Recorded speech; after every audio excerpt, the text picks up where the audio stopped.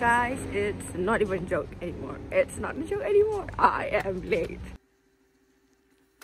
Hello everyone, welcome and welcome back to my channel. My name is Anne and today I'm planning to do a reading vlog but who knows it might be like a spend a sunday with me because i do have like a few things to do today i'm gonna have to pick up my mom's friends order from can't remember the brand. I'm also gonna bring this book it's the Sunbearer trials by Aiden Thomas. I've mentioned this book in my updates on my november reads i think.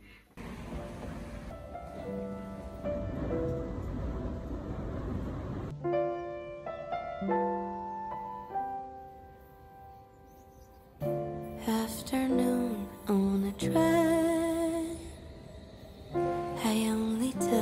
Because it started to rain. Afternoon in the fall. This weather always makes me think about it all. The woman across me, she's wearing a trench coat, a bouquet of roses. I wonder what they're for. there is something important I should tell you guys. I went to John Sandoe's, right? And I didn't buy a book.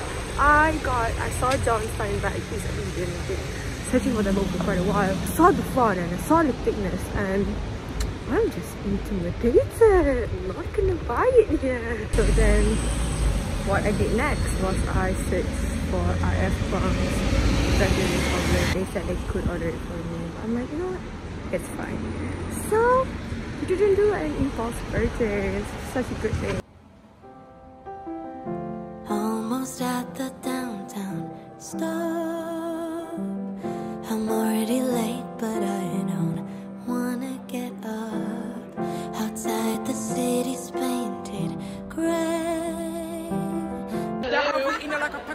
And we cannot escape, we cannot come out? Mama! Me, he carries a suitcase, a. So important. It is so important. I'll be so fast right now. Oh, we need to take this off. It's hot. It's so hot. Ah. I'm gonna show you guys what I got. We're gonna move a little closer. I know, like the previous clip I talked about books was me going to a bookstore and then saying I'm so proud I didn't do an impulse purchase. But you know what? I was walking all the uh, I was walking from John from John Sandoe's to Uniqlo and then I saw a water Waterstone. Best believe, best believe, you, your girl just had to go into the store. Went to the K part there wasn't any Kuang. I, I was like, hmm, you know what? Maybe they don't have um the Dragon Republic because I did go to Foyles a few days before searching for the Dragon Republic and then Foyles don't have it in stock and even check it like whether like Waterstones have the book in stock and Waterstones don't have it as well. When I went to Waterstones today, I had really really low hope, you know, I have low expectations and I was really like, you know what, if we don't have the Dragon Republic today, it's fine. So I went to the bookseller to one of the Waterstones employee and I was like, do you have the Dragon Republic by R.F. Kuang? And then she's like, oh, let me check.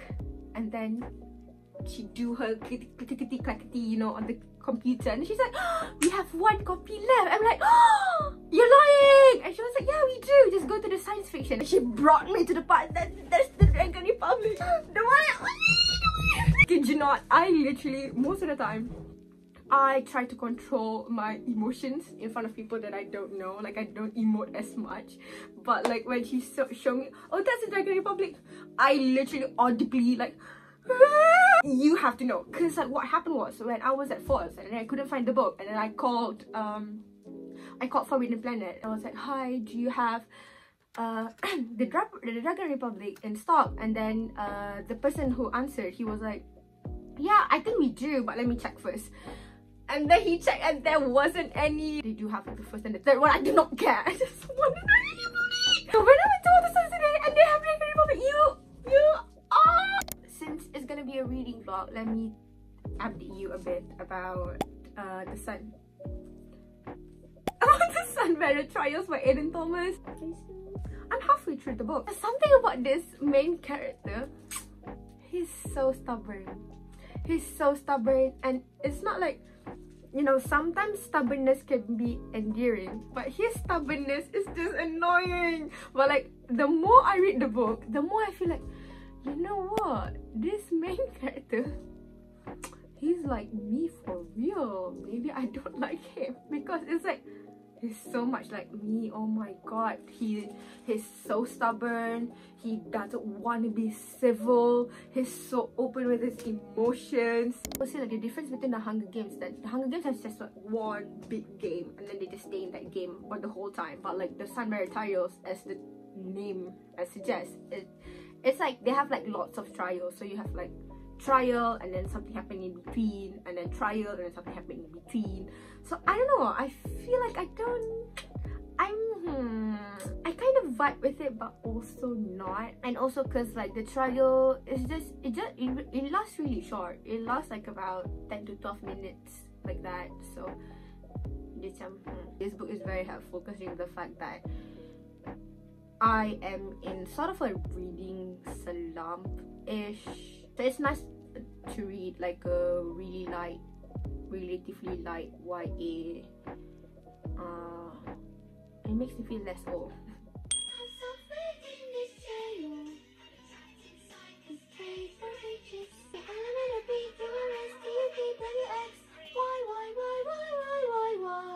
Also yesterday I watched Matilda the musical the movie um, with a friend of mine and I watched the play and I cried like so many times. Basically like when i was watching the play i was just like crying. And it was also like when it's so funny because when i watched the play at that time i really only started working as a teacher was just like really new.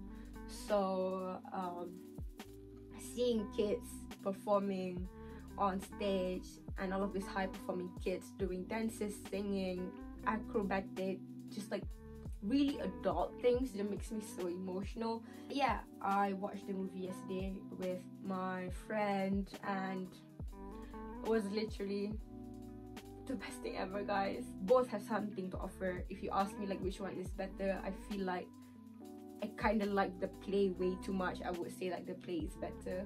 But I will also say that definitely do watch the movie because the movie brings so much depth to all of the characters, especially like Miss Honey. The fact that she's black and which makes my house even more impactful and also because like in movies you get close-ups you know like compared to like when you're in a play sorry when you're in a theater it really depends on uh it really depends on your seats. I hope i pronounced that right but lashana lynch as miss honey is literally the best biggest thing they ever thought to cast as. Like she or oh, the way that she portrayed miss honey is indescribable. Oh and by the end of the movie they added like a new song that's not in the play which is still holding my hand.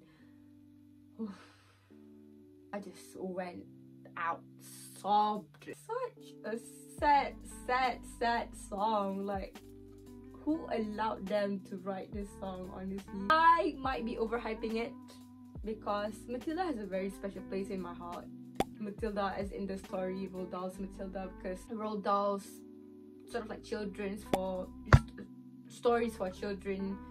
It's just basically what makes me a reader in the first place because the teacher recommended uh, Roald Dahl's collection to me. And I think Matilda was the first one that I started with honestly. So Matilda is like a very special place. It just holds like a lot of nostalgia to me like it holds a lot of nostalgia to the point that I don't want to watch the movie because I know that the movie is not exactly like the book because the movie is sort of like Americanized. I have blabbered way too much.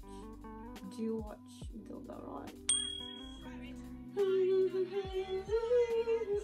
Guys, I am actually running late as I always do to be fair. Speaking about being late, I noticed that on TikTok especially, starting the video with I'm running late, I'm running late. Seems a lot of traction, which is so funny because I feel like majority of people do not like um, people being late. late. But I feel like the reason why uh, these videos receive a lot of attraction it's because watching other people being late, I guess, gives people who are late, aka including me, sort of like a justification, satisfaction, I guess.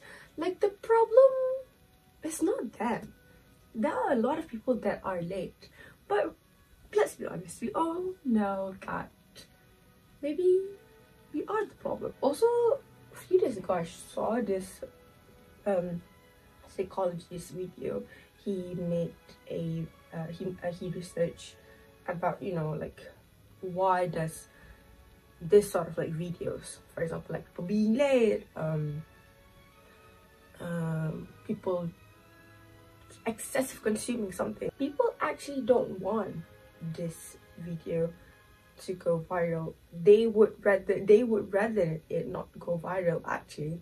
It's something about those videos people doing you know things that we don't really condone as a society it just attract them and the algorithm knows this so the algorithm push it up more and then you see it more and then you are forced to interact interact with it because you just there's something so appealing about people doing that you know. I'm running late. I don't know why i decided to or i'll put the link of the research uh, down below if i'm able to find it again.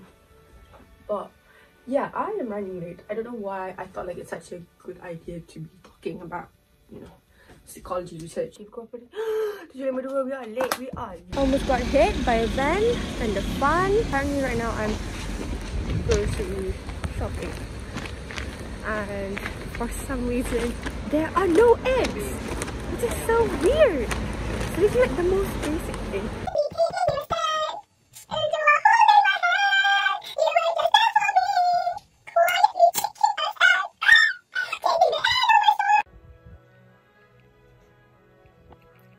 Ayam. Haven't eaten. Kenapa ayam? Nampak tak masak eh? Dah masak jangan risau korang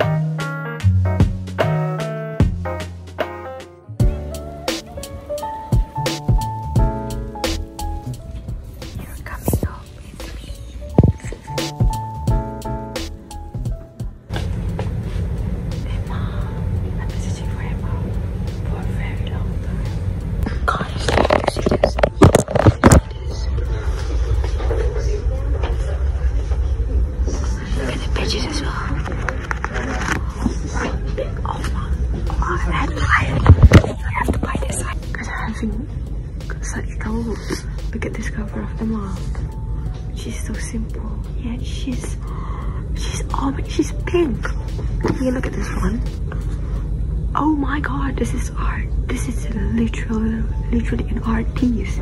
Oh, I hate this non-major motion picture anyways. But this one it's 11 pounds. And this one is 7 pounds. What the actual fuck? Oh, I love this one as well. Oh no. Thinking about it for quite a while. I've never really cared for like, what do you call this, like technical pages. I don't really care about them honestly. This is very big depot.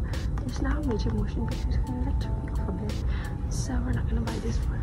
And I feel like this fits our aesthetic more. Guys, I'm gonna be honest with you. I am not sure. We are impulsively buying literally everything. Just checked out three books. But we have new books. And that means a book haul is coming. It's always fun. Guys, it's not even a joke anymore. It's not a joke anymore. I am late. I don't know what's going on, honestly. Actually, I do know what's going on. I'm experiencing burnout. So, I just dread waking up, you know, so... What you live you learn, I guess. Ladies, we woke up early. But at what cost? Hi everyone. So I have some time. I have like five minutes to spare before I go down and have my breakfast and everything. And I realized that I haven't done a book checkup. I'm more than halfway through. Okay, so I feel like with this book, it's like I mentioned, it's pitched as uh, the Hunger Games meets Percy Jackson, and I understand where it comes from. So the thing about this book is that I just feel like it's very low stakes. Like nobody, nobody is dying. I am unfortunately at that at that age that the only thing in the girl's mind is homicide. I want death, commit crimes be heinous. And like I understand why nobody is dying and why like dying is an exactly like a central part to the book and the, the book is obviously bringing something entirely new other than the Hunger Games but I feel like because people were promoting this as the Hunger Games meets Percy Jackson I was expecting some high stakes death. The the trials are also just very short. You also got like time spent outside the trials and i was just i want more trials. So we don't get much action. This book explore more about the dynamics the hierarchies of like being a a jade dem, uh, demigods and also a gold demigod it i would say it's like closer to My Hero Academia, to be honest. Regarding like the love story, it's slowly, slowly, slowly forming. I just realized it's actually a sort of like a slow burn situation. Our main character and the love interest, they sort of have like this like unsettled history between them. So they were like childhood friends and then they grew apart and then they become rivals because they were both selected and then they became sort of like a forced proximity situation but not like forced proximity to be in a small physical space. Sort of like forced to interact situation. And they sort of like be, start to become civil with each other by day i mean our main character because the love interest is completely fine. He's like if anything he wants to reconnect but our main character bless him but the boy is so stubborn. And hopefully to lovers but i have a feeling that this book is not gonna end with them being lovers. Um because it is a dual it is a duology and the second book hasn't been released yet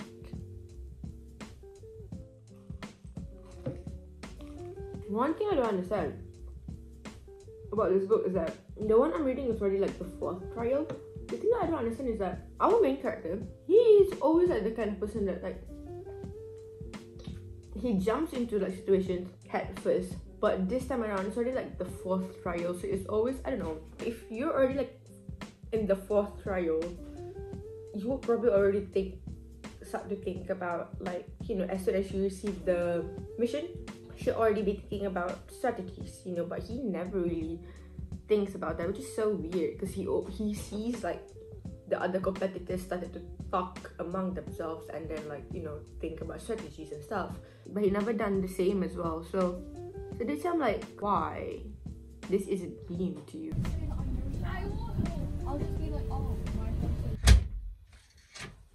Guys it is very important. It is very imperative that you know that i make a banging matcha i think i will be able to finish the Sunbearer Trials tonight, okay? Okay, wish for me. Wait. Let's do a, uh, what? Like a 90% Sabah? Sabah, Sabah. Guys, like what a slapulous major twist that was. Oh, I didn't see it coming. I did not see it coming. Hi everyone, so I have finished the Sunbearer Trials by Aiden Thomas and here's my verdict on it. I give this a solid 3.5.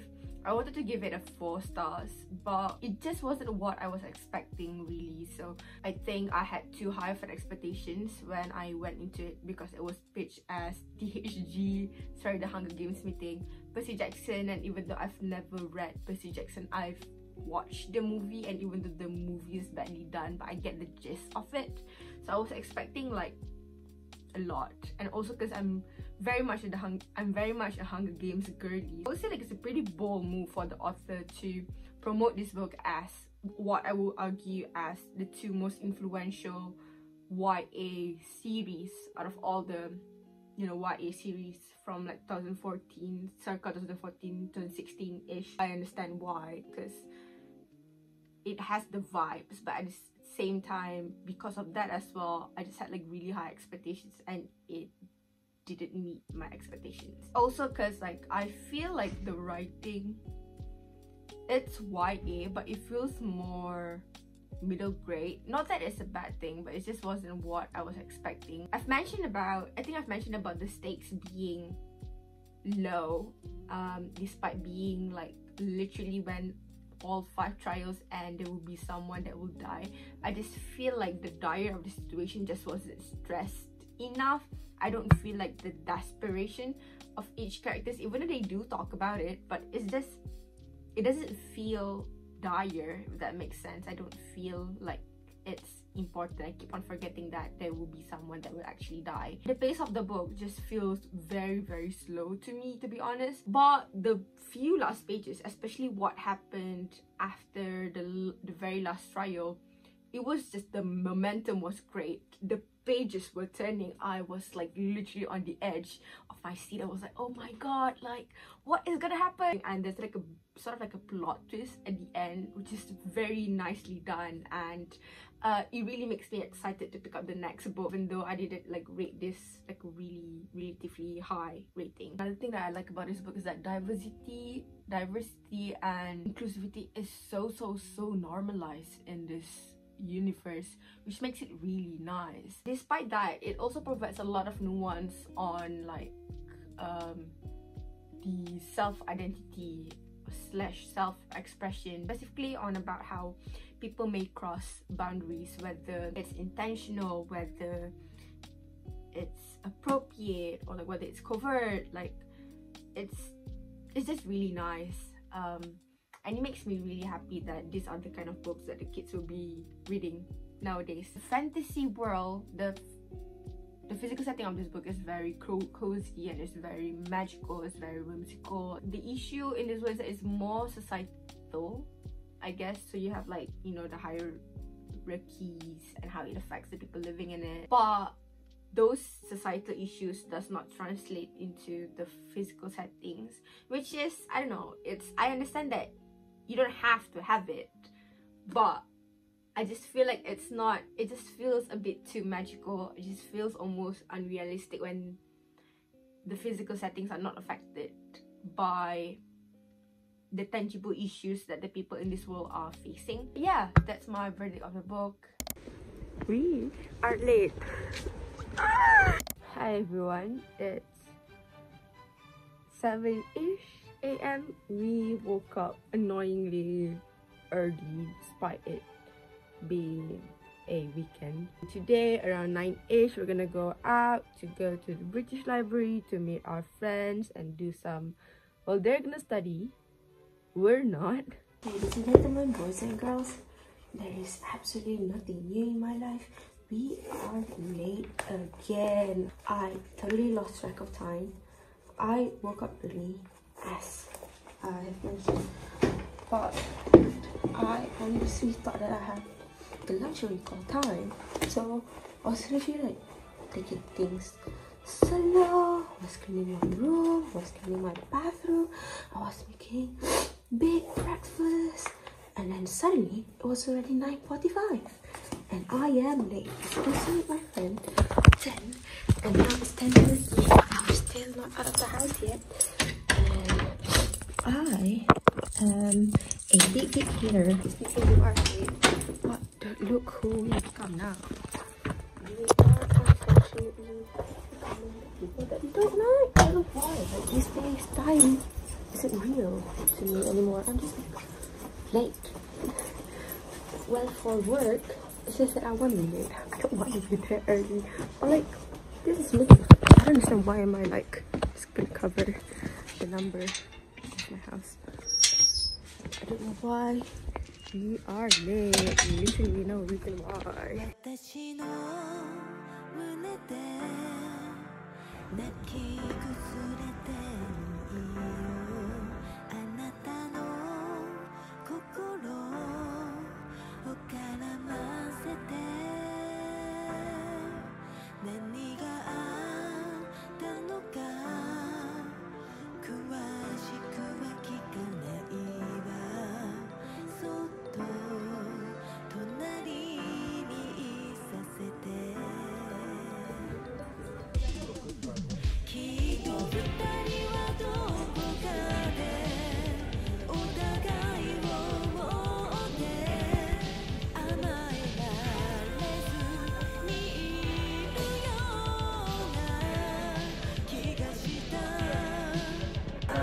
Please.